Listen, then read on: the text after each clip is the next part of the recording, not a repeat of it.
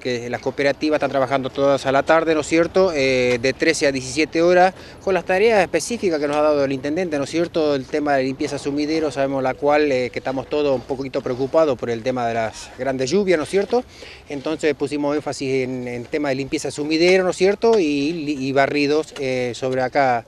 Hoy comenzamos acá en 12 de octubre, desde las vías hacia Calchaquí, ¿no es cierto? Y en el día de mañana continuaremos todo por 12 de octubre.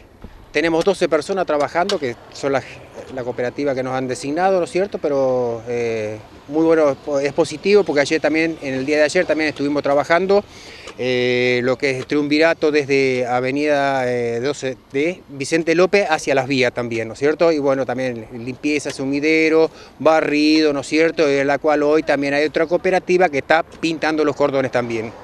Estamos desmalezando, cordoneando y pintando. Eso se está haciendo por el momento.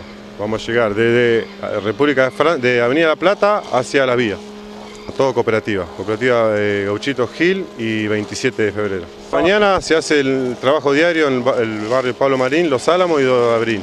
Eso se hace diario todos los días.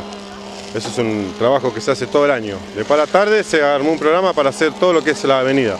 Avenida República de Francia, después va a ser Vicente López y Avenida Smith, por ahora. Vamos a ver con la que continuamos. ¿Se está trabajando también en el tema de alumbrado público? ¿En qué zona de Espeleta? Abarca, de Avenida La Plata, La Varela, Smith, hasta lo que es el fondo del río. En todos los barrios se hicieron más de 600, se repararon más de 600 luminarias en el término de un mes. Vamos a seguir profundizando por más, faltan. En conjunto estoy eh, yo de Servicios Públicos, Karina Jara y Palito Espósito, acompañando al camión de eh, alumbrado público todas las noches.